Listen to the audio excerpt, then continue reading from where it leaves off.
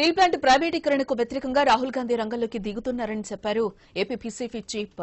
గిడుగు రుద్రరాజు త్వరలోనే విశాఖకు వస్తున్నారని అన్నారాయన వచ్చే ఎన్నికల్లో ఒంటరిగాని కాంగ్రెస్ బరిలోకి దిగుతుందంటున్న రుద్రరాజుతో మా Visakha correspondent Deva festivals.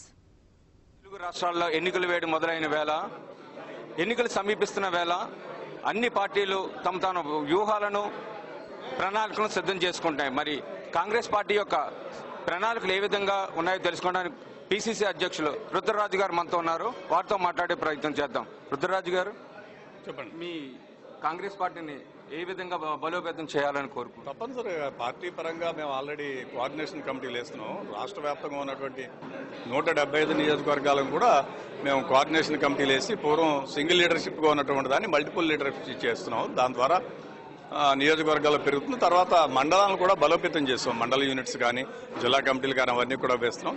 So త్వరలోనే పార్టీని సంస్థాగతంగా బలోపేతం చేసుకుని ఎన్నికల క్షేత్రంలో కాంగ్రెస్ పార్టీ అన్ని నియోజకవర్గాలు పోటీ చేయడానికి ప్రయత్నం చేస్తాం. రెండు వేల ఇరవై నాలుగులో కాంగ్రెస్ పార్టీ ఒంటరి పోరు చేస్తుందా? ఏదైనా పార్టీతో జతకట్టే అవకాశం ఉందంటారా? నా ఆలోచన మేరకు కాంగ్రెస్ పార్టీ ఒంటరి పోటీ చేయాలనేటువంటి ఆలోచనలో ఉన్నాను. ఎందుకంటే మాకు బలమైనటువంటి కేడర్ ఉంది. సో కేడర్ నాయకత్వాన్ని మేము మరి పెంచుకోవడం కోసం మాకు ఉన్నటువంటి ఓటు బ్యాంక్ని మేము చేసుకోవడం కోసం చేయాలనుకున్నాం బట్ నేషనల్ పార్టీగా పార్టీ హైకమాండ్ ఏం చెప్తుంది అనేటువంటిది ఇంకా లేదు. బట్ యాజ్ ఇండివిజువల్గా నా ఆలోచన మాత్రం నూట డెబ్బై ఐదు నియోజకవర్గాల్లోనూ కాంగ్రెస్ పార్టీ కంటెస్ట్ చేయాలనే ఆలోచనలో ఉంది రాష్ట్రంలోని బీజేపీ టీడీపీ జనసేన మూడు పార్టీలు కలిపి స- ము- ముగ్గురు పార్టీలు మూడు కలిసి పోటీ చేయాలనుకునేటప్పుడు మీ కాంగ్రెస్ పార్టీ తరపున మీ దాని మీద మీ కామెంట్ ఏంటి? ఈ రాష్ట్రంలో బీజేపీ అంటే బాబు జగన్ పవన్. నేను పీసీసీ అయినప్పటి నుంచి కూడా అదే చెప్తున్నాను. బీజేపీ అంటే ఒక బి అంటే బాబు జే అంటే జగన్ పి అంటే పవన్. సో ఇప్పుడు అది తేటతల్లమైంది. నిన్న పవన్ కళ్యాణ్ గారు ఢిల్లీ వెళ్ళిన తర్వాత మాట్లాడిన దాన్ని బట్టి అర్థమైంది. సో డెఫినెట్గా అందరూ కూడా రాష్ట్ర విశాల ప్రయోజనాలను పక్కన పెట్టి స్వార్థ ప్రయోజనాల కోసం వాళ్ళ ఎమ్మెల్యేలు కావాలి వాళ్ళ ముఖ్యమంత్రి కావాలి వాళ్ళ మంత్రి కావాలని పనిచేస్తున్నారు. కాంగ్రెస్ పార్టీ ఒకటే ప్రజాక్షేత్రంలో ప్రజల కోసం ఈ రాష్ట్రం యొక్క అభివృద్ధి కోసం పనిచేస్తుంది.